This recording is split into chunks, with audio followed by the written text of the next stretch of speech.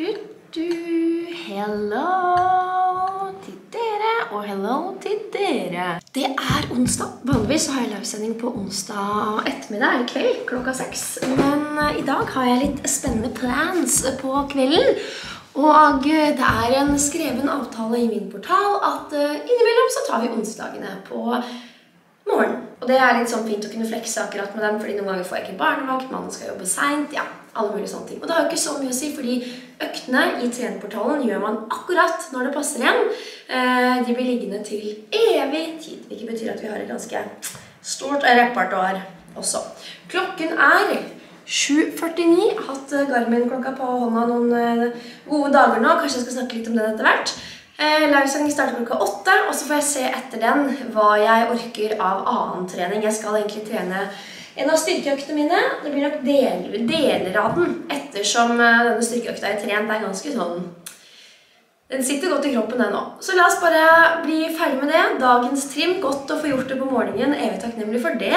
Og så ruller vi videre med denne dagen her. Du skal få lov til å være med på hele dagen. Vi skal litt forskjellig hit og dit, og jeg syns at det vi skal på tampen i ettermiddag og kveld er det gøyeste. Stas.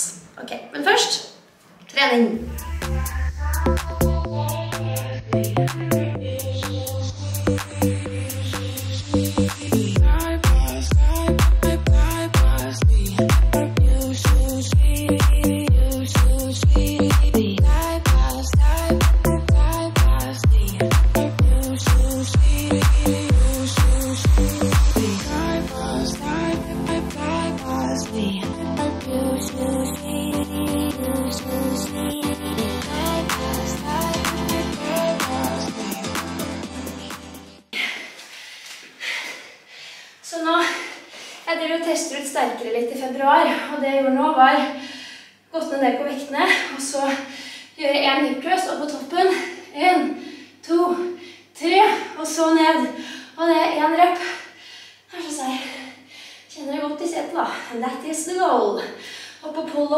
borte Jeg er jo i teorien sterk nok til å klare noen pull-ups, men jeg driver og jobber litt mer med å komme meg her.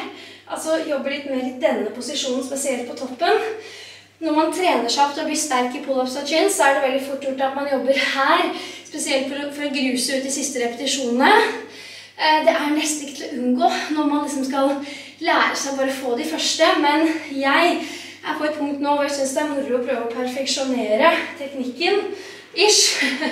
Og ikke minst så har holdninga mi godt av å jobbe her framfor det her. Og, så nå jobber jeg med strikk for å komme meg skikkelig godt opp.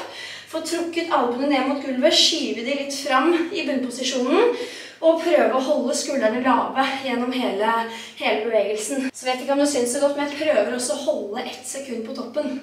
Vi får se da. Du kan være med å gjøre et sett. Jeg går for ni, ish. Jeg kunne liksom klart flere, men da får jeg den litt teite teknikken igjen. Skal vi se. Skuldre litt ned og tilbake. Tenker hele tiden at jeg skal skyve, trekke albuene ned mot gulvet. Og at brystet skal opp mot stanga. Holder underkroppen under overkroppen. Prøver å unngå for mye bevegelse i egentlig resten av kroppen.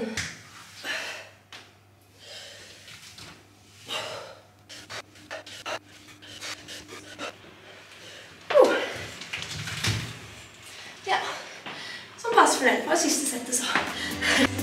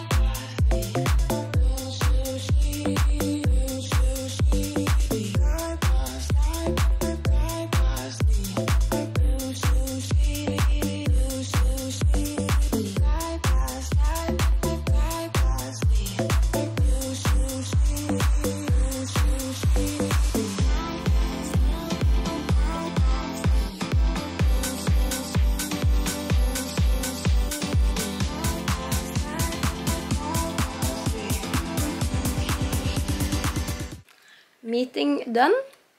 Vi har sånn arbeidsuke. ja. Come with boyfriend to work day. Eh, til morgendag så var Simen sånn Kan du være så snill ikke komme svett og jævlig på kontoret? Og hva skjedde? Jeg dusja og sminka meg og føna håret, og det var ikke måte på. Jeg syns det er sjarm å være litt sporty. Ja. Ok, On to the next meeting. Ålete arbeidsplass. Det her er sånn jeg kunne ønske stua vår så ut. Jeg er helt enig.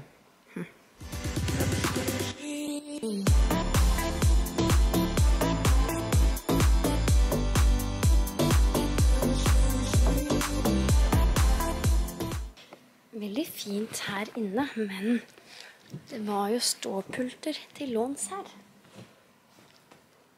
Så da må jeg jo eh, stå der. Ok, neste møte. Så må vi ta en fotobakken. Den dagen har jeg gått i ett. Hallo. Se, sånn her er det å jobbe på et vanlig kontor. Hmm, ferdig med møtet. Elsker følelsen av å være på kontor. Kommer du ikke over det? Kanskje jeg kunne leid meg inn her? Skal jeg spørre Simen om. Så jeg er altså på kontoret til kjæresten min. Vi har hatt et uh, møte sammen. Jeg hører til sjeldenhetene, men det var på agendaen i dag. Uh, og så har jeg hatt et møte med Bun, som da er firmaet i Danmark som hjelper meg med tjenestene mine trent og sterkere, og hele nettsiden min. Elsker de. Altså, de er så rå. Det er sånn, Hvis jeg vil ha til en, et tillegg på nettsida mi, så skjer det typ sånn kontra andre prosesser hvor det har tatt flere uker. Det er noe med arbeidsmoralen til danskene. Jeg føler at eh, der viber vi, viber vi bra. Så vi må få oss en tur til København snart, jeg og, jeg og Sølve, og besøke gutta. Eh, så dagen røyner på, dere. Nå skal jeg kjøre hjemover igjen og jobbe litt der før jeg skal sette meg på toget innover til eh, Oslo. For vi skal på premiere av nye reality-serien til Alexander og Kill. Jeg skal sammen med Gateline, og jeg gleder meg sånn. Du vet ikke at jeg skal pynte meg eller noe, bare sånn ta på meg litt vanlige klær, være med Tonje, møte hyggelige folk. Åh, jeg gleder meg skikkelig. Um, så det er på agendaen. Kanskje vi får um, stilt Alexander noen gode spørsmål. Spør om han vil være med i Sterkere hvis han ønsker å toppe formen, kanskje. Hmm, la oss komme oss hjem fra dette jålete kontoret her. Hjem til stua. Beste mellommåltidssnekket som fins, er gulrot og koffeinfri kaffe. Men da med noen suketter og litt havremelk. Kartongen min begynte å lekke, så jeg måtte ta det over en sånn. Men ja, nydelig. Det var en sånn uh, på Instagram som var sånn Can you believe the people that uh, uses oat without shaking it? Og det syns jeg også er litt sjukt å gjøre. Må alltid riste den for å få den litt foamy. Perfection. Altså, det ser så bomba ut i stua her nå. Vi har um, ikke oppussingsplaner, men vi skal freshe opp litt. Det trengs. Ja. I mellomtiden, det er ikke sånn at det trenger å se bomba ut bare fordi vi skal freshe opp, men uh, ja, here we are. Den sofaen her skal uh, selges. Vi har kjøpt ny, faktisk.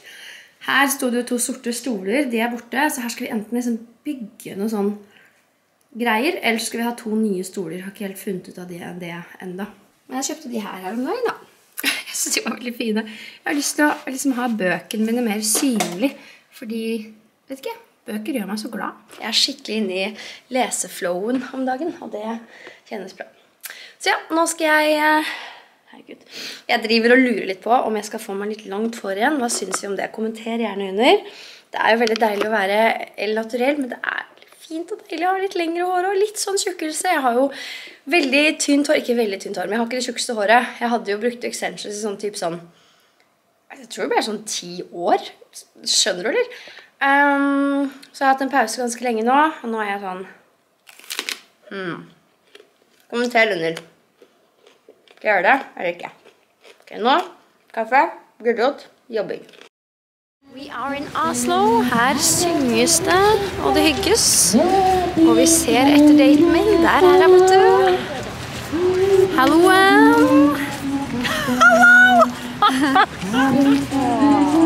Mye Det her er gøy, for se så fin du er. Men alltid litt sportiness inni det hele. Altså, du har jo the shoes. Det er det som er ut. De funker til alt. Så har du jeansen, men så har vi valgt den litt penere sorte jakka med den beige strikkejakka. Og så the touch. Yes. Som upper gamet. Og så litt ekstra sminketouch. Ja, ja, ja. Nydelig. Fabulous.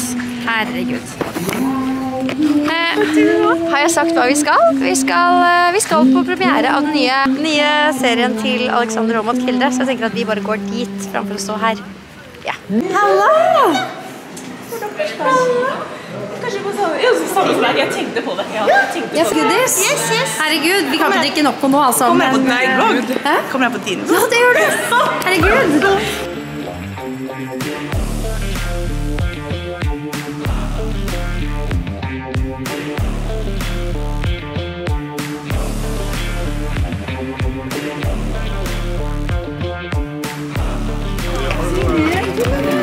Jeg var sånn til Tonje sånn skal slippe å ta med deg kamera. Første som skjer, du møter en dude med kamera.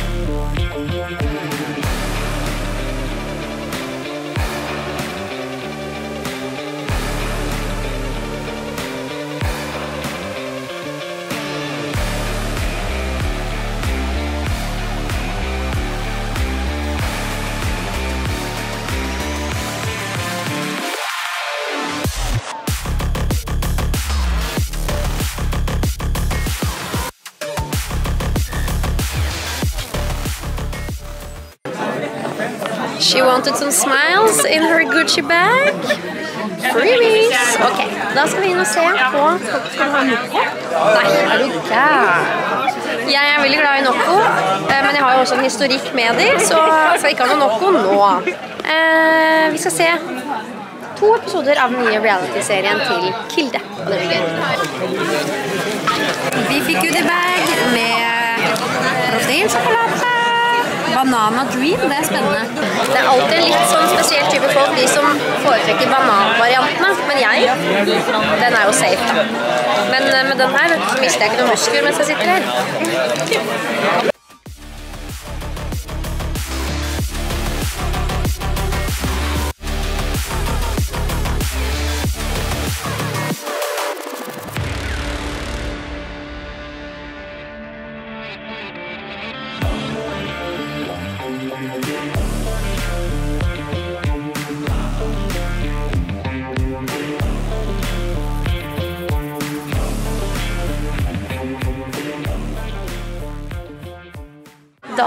Har vi sett ferdig dokumentaren, og altså Ja, nei, hva syns vi? Man blir så inspirert av å se på utøvere.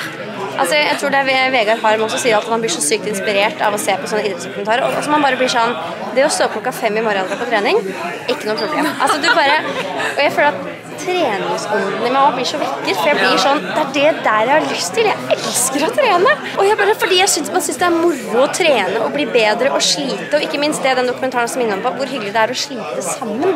Altså å, å få til ting sammen. Enten det er at man løper sammen eller går på crossfit sammen. Altså bare gjør ting sammen med mennesker. Og det trenger ikke å være fest, det kan være trening. Liksom. Anbefales på det sterkeste. Det var en veldig inspirerende dokumentar om det som må være verdens beste menneske. Han er så god, liksom. Han, bare, han er bare sånn derre Men jeg synes det ofte er med alpinister Ja. ja, ja, vi snakket jo litt om Ja, det, men det er- Åh. Det er noe med alpinistene. Det er sånn for Noen digger langrennsutøvere. Jeg digger Alpinister er liksom my vibe. It's a vibe. Dette var veldig veldig gøy. På tide å komme seg hjem. Takk for at du var med. Ja, nei, bare, Bare- avse den lille tiden der. Ja, travelt, men Du, by the way, Det var faktisk én ting jeg hadde litt lyst til å spørre deg om. Fordi du føler jo sterkere. ja. Du trener også mye intervaller og kondisjon om dagen. Hvordan klarer du å liksom balansere de to? Altså Blir du ikke sliten i beina? Jo, absolutt. Eh, og det er derfor jeg har en løpetrener som legger opp et løp. Eh, han legger opp planen sånn som jeg føler at jeg kan stole på. Så Ja. Han har sagt sånne type intervaller, og det er, ikke, det er liksom ikke rett på maksen. Det er masse sone tre, så det er ikke kjempehardt eller tungt. Eh, det er den intensiteten jeg ideelt skal, skal løpe løp, lengre løp på. Ja. Kan puste gjennom nesa, siden jeg jo har trent litt på det. Kan stole på noens plan. Alt handler ikke om maksen. Og jeg har også en livssituasjon som tillater at jeg kan være mye mer fleksibel med når jeg trener. For det, jeg føler det, det litt handler om Det handler ikke om at vi nødvendigvis blir overtrent, men heller den totalbelastninga. Sånn at hvis man ikke har mulighet til å restituere, sånn som kanskje du har, og som du er veldig flink til, eh, så blir det litt vanskelig å liksom hente seg nok inn igjen til å ha fremgang med både kondisjon og styrke. Så det er grunnen til at jeg ofte anbefaler de som følger sterkere, å ta det litt pent med kondisjonstreninga. Gå i motbakke, ikke noen sånn beinharde intervaller, fordi det er mye lettere å hente seg inn igjen etter det, kontra å liksom spurte av gårde fra det ene til det andre. Så take your time. For det her er Stine som jobber i Gateline, som er grunnen til at vi er her. Men det er veldig få som egentlig vet at Gateline er norske. Det er svigerfaren din som starta det. Ikke sant? Ja, Tidligere ballettdanser. Ja, ballettdanser, eh, coach på Olympiatoppen. Og, så både teknologien er norsk, også design. Vi har verdens råeste designer, eh, som heter Petter. Han er veldig trendy og. Han står der borte. Tenk deg det presset å designe liksom alle skoene i en kolleksjon. Men, eh, og Kilde, nå har vi sett på do- dokumentarserien hans, nye serien hans på Viaplay. Eh, og han har jo sine egne sko, som begge vi har på oss i dag. Nice one. Og de er jo til og med signert i gull. Ganske kult. Så kommer det med ny, han kommer med ny eh, modell nå i mars. Ja. Ny farge. Der kan du se, og det jeg bare liker så godt med Gateland-skoa, det her føler jeg går igjen, at du kan liksom ha på deg vanlige fine klær, få på en sånn dressjakke, pulsklokka er på, ja, man har ikke på det, jo da, ja, nesten, Apple Watch, og så har man da skoa, litt sånn en touch av sportiness. Elsker det, elsker det. Så jeg måtte bare, jeg ville bare sørge for at dere møtte Stine. Nå skal jeg dra, nå skal jeg dra. Nå er jeg en av de siste igjen i lokalet her. Ja. Nå skal vi alle hjem. Ja, vi snakkes. Og da går Pia hjem òg. Ja. Takk for i dag. I'm home. Tatt bort sminken, fått på meg morgenkåpa. Klokka er egentlig altfor mye. Jeg burde vært i seng. Jeg gjør alt gærent. Jeg drikker en uh, Ramløsa, og jeg har spist et rundstykke. Er det bare meg som er litt sånn at uansett hva jeg har spist før jeg kommer hjem, når jeg kommer hjem, så må jeg ha et eller annet i nebbet før jeg liksom kan lande i senga. Det er veldig rart. Og det er jo også fordi for å få en god hår ved at kroppen skal gå i hvilemodus før man skal sove, så skal man liksom ikke spile, spise før seint på kvelden. Man kan bli litt koko av de greiene her òg. Det er noe jeg annet skal snakke med han pulslegen om. Liksom, hvor går grensa? Kan dette her å følge med på alle mulige verdier kan gi oss en form for sånn Ikke helseangst, men at det bare blir litt for mye. Jeg er ikke der, altså. Foreløpig syns jeg det bare er gøy å følge med på, men det er klart at eh, Jeg ser faren. Jeg har jo hatt den kameraten her på hånda en liten stund nå. Eh, Jeg tar en kjapp recap på den i morgen. Så skal jeg bare sove, så ses vi for det i morgen. En god natts søvn for meg, et lite sekund for deg. Er det kildesko, eller? Hæ? Yes, it is. Nice. Da er det altså så fristende, dere. Hei og god morgen, forresten. Jeg hadde en god natts søvn, bortsett fra at den ble litt kort. 6,5 timer, men det går bra. Sov nede i kjelleren, så jeg sov uavbrutt, og det var nydelig. Men jeg har drukket en kopp kaffe, skal snart ned og trene, og jeg er jo som sagt fristet til å ta en liten sånn en. Smaken av ramonade. Er det man tror? Det tror jeg gjør, jeg. Jeg har en lang, fin dag foran meg. Skal trenes, og det skal poddes, og det skal det ene og det andre. I'm doing it. You can't stop me. Det kunne blitt den økta, da. Uh. Jeg er sånn, når jeg sier sånn jeg skal ta én slurk av ting, så må jeg ha tre, to til tre glugger. Det hadde vi diskusjon om ved middagsbordet i går, for jeg var sånn Kan jeg få en slurk av drikken din?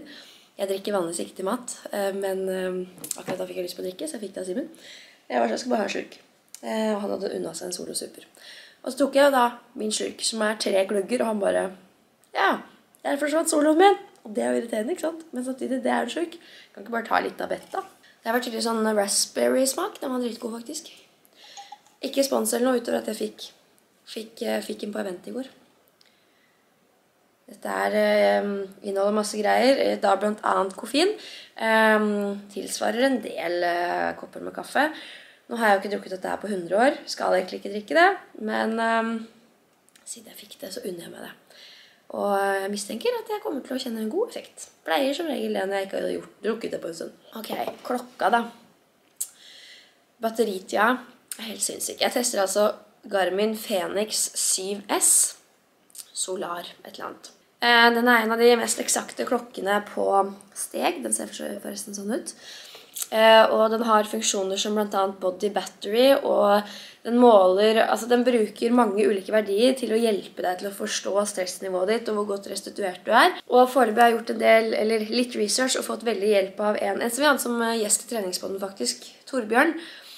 Som er helt sånn rå på dette her. Hvis du søker på Garmin en, egentlig en virksomhetsklokke, og så kommer det opp artikler på Pulssonen. Det er han som har skrevet alle de artiklene. Eller noen av de er faktisk bøker. Altså, han er helt vill. Hjelper meg til å forstå liksom, forskjellen mellom Whoop og Garmin, hva er best. Og også i hans øyne så er liksom Garmin overlegne på akkurat dette her. Om man trenger det, det er jeg ikke helt sikker på, fordi etter at jeg bytta ut Apple Watch med denne, så har jeg også fått litt hjelp på Instagram til å forstå at eh, du kan ha apper som kobles opp til Apple Watch, som hjelper deg til å forstå f.eks. For HRV og stressnivåer bedre. Så ja, det, det her skal jeg spørre treningslegen om, men altså det er jo litt av greia hans. At det, alle disse klokkene som vi har på hånda, eh, også de relativt enkle modellene, kan gi oss mange av de samme verdiene. Den måler eh, puls på håndledd. Jeg har lite mål om å prøve å ikke bruke pulsbelte, fordi jeg er interessert i liksom, tallene over tid. Kan ikke gå rundt med belte hele tida. Måler, jo da denne HRV-en. Måler vær og solstyrke. GPS-en er visst helt rå, men det trenger jeg ikke foreløpig. Eh, og så sier den mye om søvnen, og f.eks. på søvn så kan jeg trykke meg inn på det i appen. Den synkroniserer jo hele tiden med appen på telefonen for å få mer informasjon om hvordan jeg har sovet, dyp søvn, lett søvn, alle de tingene der, da. Det som er litt interessant, er at jeg snakka med Tonje i går om Whoop Band. Det er det alle liksom the cool influencers in the UK bruker og sånn. Eh, og den samsvarer ikke alltid med hennes Garmin. Men hun har jo en litt eldre Garmin. Ikke noe sånn gammelt ræl, men litt eldre, så kanskje det er forskjell der. Jeg vet ikke, fordi Tidligere når jeg har brukt sånne klokker til å måle disse verdiene, så føler jeg ikke alltid at det har stemt overens med virkeligheten. Nå føler jeg faktisk det. da. Og det her lufta jeg også for Torbjørn, altså han eksperten min, og han var sånn Nei, men Garmin, Garmin er best. Eh, og så er det også en verdi som sier noe om stress, både her og nå, men også gjennom dagen. Sju dagers gjennomsnitt. Foreløpig så har jeg troa på at denne kan oppfylle målet mitt om å hjelpe meg til å forstå helheten av stresset mitt og grad av restitusjon og sånne ting. Det som alltid er litt sånn utfordrende og spennende med pulsklokker når man trener mye styrke, er jo nettopp det i hvor stor grad den klarer å forstå um, hvor mye innhenting man trenger etter en styrkeøkt. Fordi sånn klokkemessig, når man trener styrke en time, så er det liksom noen korte drag opp når du gjør tunge knebøy, på en måte, men du, kom, du piker jo aldri i puls over tid. Eh, virker som du går rundt og slarafner, men det gjør man jo ikke. Eh, så det skal jeg også spørre han Torbjørn om. Som har skrevet Pulskuren, som kommer som gjest på treningspodden i midten av februar. Så ja, just keeping you posted. Jeg kjøpte denne her for å teste de tingene vi har snakka om nå, med utgangspunkt i Pulskuren, skrevet av Torkil Færø. Still testing. Savner Apple Watchen min litt, men blir jo, man blir jo glad i det. Jeg har blitt glad i denne her òg. Gøy å teste nye gadgets. Og så får man se hva vi lander på. Ja. Garmin Fenix 7S. Innmari, innmari dyr. Hadde ikke kjøpt den hvis det ikke var for at jeg jobba med dette her og skulle teste det ut for alle oss. Kanskje jeg kan selge den videre, hvem vet. Eller så beholder jeg den. Det blir enten denne eller Apple Watch. Får se hva jeg lander på. Kan også ha, bruke billigere Garmin-modeller, tror jeg. Det skal jeg også spørre han eh, Torkil om. Målet er at vi bare skal kunne bruke det vi har på armen fra før. Ja. Skål. Jeg drikker opp denne her, så stikker vi ned og trener. Slapp av nå, bad boy rapper. Vi er i mål. Nå Nå er det torsdag. Vanligvis da jeg vlogger, men ikke i dag. I går ble det onsdag. Ja, du skjønner. Nå skal jeg løpe videre, og jeg skal avslutte denne vloggen. Sorry, jeg bare hadde behov for å liksom lage en liksom lengre Haderud-vlogg. Jeg vet ikke akkurat hvor lang denne ble, men føler det forrige har vært så snuppete. Er det noe vi ikke er, så er det snuppete. Å ja! Ok, takk for at du så på. Husk å like videoen, abonner på kanalen. Og du, hvis du ser på de videoene her og kjenner at fy faen, styrketrening er fett, det der har jeg også lyst til, er du hjertelig velkommen i Jenten Sterkere. Starter et ny, nytt program på mandag 6. februar. Eller trent deg kan du melde deg når som helst. Det er et supert sted å enten starte, eller hvis du er i tidsklemma, haugevis av barn og sykdom og hurra meg rundt, og vet ikke hvor du skal gjøre hverken armer eller bein, det er trent for deg. Det det er som å pusse tenna. Du må trene uansett. ok? Det gjør noe nå. Det skal jeg ærlig innrømme. Sterkere medlemmer. Til uka nå så har vi testuke. Jeg Du har hørt det ikke her. Jeg anbefaler det ikke. Men det er litt av energidrikk i blodet. Det, det gjør noe bedre. Ja. Ikke drikk det. Gjør som jeg sier, ikke som jeg, ikke som jeg gjør. Eller noe sånt. Ok, snakkes. Ha det.